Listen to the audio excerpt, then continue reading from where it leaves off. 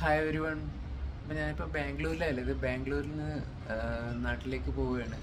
അപ്പോൾ പോകുന്ന വഴിയിൽ മൈസൂർ ഒന്ന് ജസ്റ്റ് പോയിട്ട് ഒരു ദിവസം സ്റ്റേ ചെയ്തിട്ട് അവിടെ നിന്ന് തിരിച്ച് അങ്ങനെ പോകാമെന്ന് പിറ്റേ ദിവസം വീട്ടിലേക്ക് പോകാമെന്ന് വെച്ചിട്ടാണ് നിൽക്കുന്നത് അപ്പോൾ ജസ്റ്റ് നമുക്ക് യാത്രയിലൂടെ കാണാം.